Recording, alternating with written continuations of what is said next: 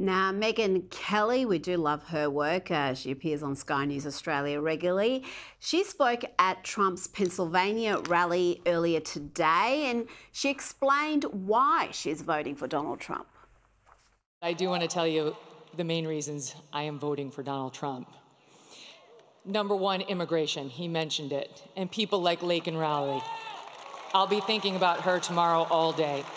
22 years old, killed in Georgia a young nursing student by an illegal.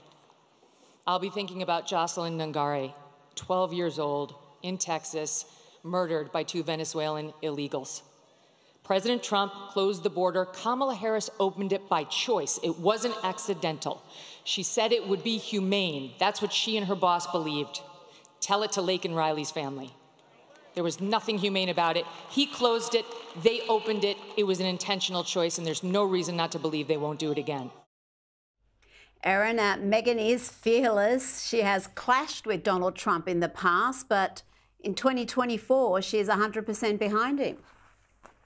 Well, I think this immigration issue is going to be a big one. And also the economy. No matter what Joe Biden used to scream at us on the television, how he's created the best economy in the US history, we go to the gas pump, we go to the grocery store, prices are completely out of control. And what I think is so ironic about liberal women saying, we need to protect our young girls, you know, my body, my choice. Don't women have the choice to be able to ride the subway to work without being mugged or worse?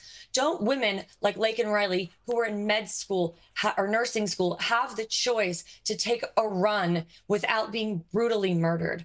Women need to be safe in our country. And with this illegal immigration crisis that has touched all 50 states, women are not safe. And both of those two issues are really directly impacting women. Most of women, let's face it, are the primary ones that are having to go to the grocery store and seeing that one bag of groceries has almost quadrupled in price. So I think this is another example of how we're just chipping away at that Democrat base. Erin Elmore, thank you so much for your time this evening.